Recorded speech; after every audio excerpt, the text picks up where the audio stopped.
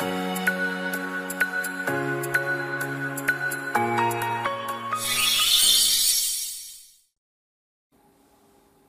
い、こんにちは、レトスノーです。今回なんですけども、随意条件、民法134条について解説いたします。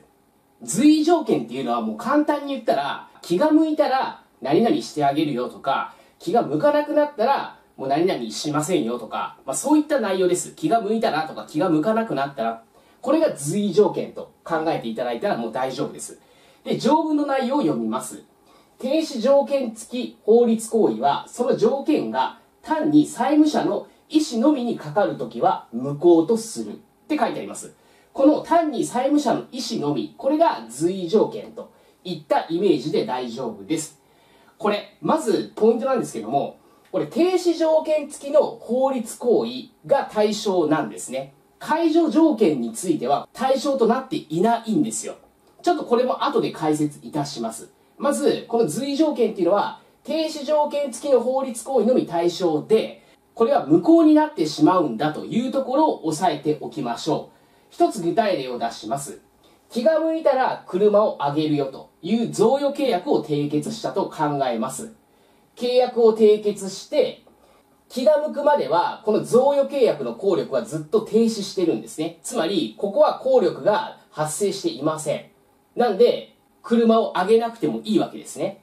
で、気が向いたら、こっから贈与契約の効力が発生するわけだから、こっから効力が発生するっていう話ですよね。ただし、この場合っていうのはこれ無効ですよって、この条文で言ってるんですよ。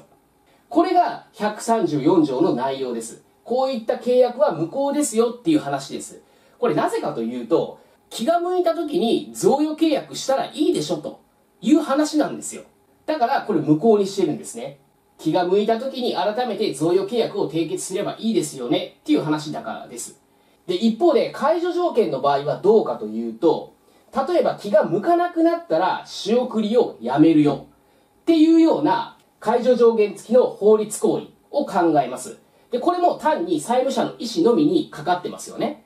気が向かなくなったらって書いてあるわけだから、これは単に債務者の意思のみにかかっています。これ債務者っていうのは仕送りをする側ですよね。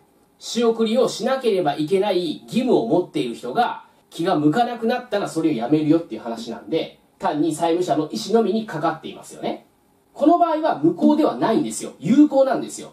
これどういうことかというと、まず契約をしますね。まあ、仕送りしてあげるよ。まあ、息子でもいいんですけども、息子に対して一人暮らししてるから仕送りしてあげるよ。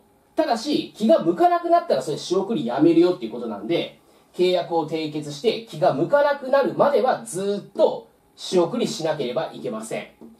ただ、気が向かなくなったっていうのであれば、ここで解除ってなるわけです。ここからは仕送りしなくてもいいという話なんですね。これについては有効です。この対象となっていないから有効となります。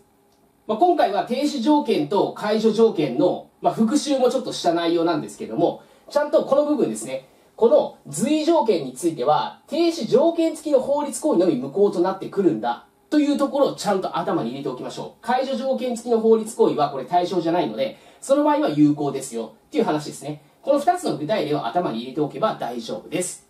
今日も最後まで動画をご覧いただきましてありがとうございました。宅建合格目指して一緒に頑張っていきましょう。